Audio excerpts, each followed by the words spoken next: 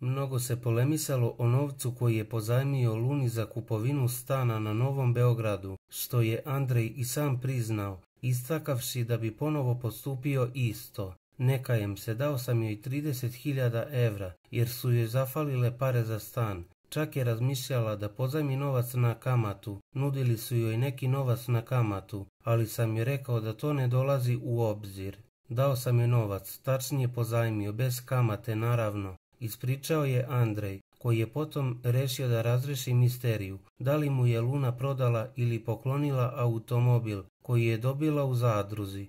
Auto sam kupio za 15.000 evra. To nema veze sa stanom, odmah da se razumemo. Ona je meni htjela da pokloni automobil koji je osvojila u zadruzi, ali ja sam rekao da to ne želim, nego da hoću da kupim, jer je ona ta kola krvavo zaradila. Konsultovali smo se sa servisom i oni su mi rekli da auto vredi 15.000 evra. Ja sam ga kupio i to je cela istina. Ne znam odakle Gagiju da mi je poklonila kad nije. Da je htjela jeste, ali ja to nikada ne bih prihvatio, objasnio je Andrej.